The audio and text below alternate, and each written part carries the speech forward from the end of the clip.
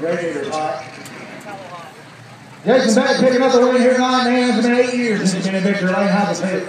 It feels real good. And, the last time I won it was an EQ, so I really didn't get this Victory Lane thing like I wanted to. So kind of sunk. I want to thank my sponsors first of all, um, Naughty Yankee, Barbecue Sauce, Dale's Maintenance. Um, main thing is I want to thank Jesus for giving this opportunity to come here and have fun with you guys. Um, everything we won tonight is going to the Southern Baptist um, disaster relief for the Tornadoes. So glad to be able to give a little bit of money to them. And um, my wife for being here. Good deal. Picking up the win here tonight. And the fourth cylinder. Stop. Ladies and gentlemen, Beck.